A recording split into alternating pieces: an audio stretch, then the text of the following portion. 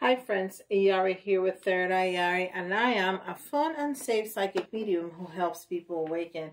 And this is a mini reading for May 19th, 2023. Um, you are in a battle, you are in a war and taking it up a notch. Uh, you just are. I mean,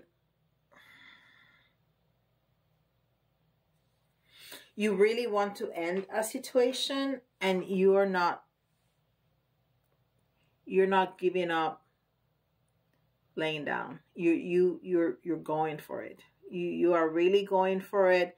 You're using all your tools. You're using everything you got on the table.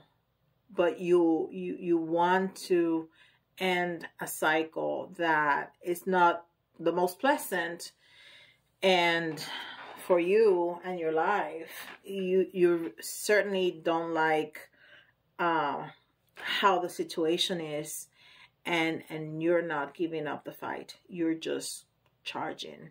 You you took it up a notch because normally those guys fighting in the seven of wands are all you know standing on the ground but you are right in the middle jumping and doing some kind of ninja move and and kicking it up a notch.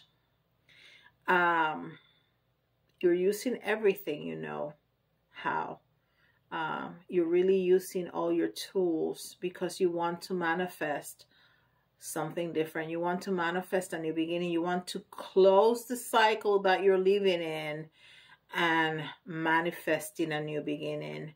So if if if you feel like that, if you feel like you really want to finish something go ahead. Go ahead. Just do it with kindness, with gratitude, with diplomacy, with love, and with a smile. Have a wonderful day.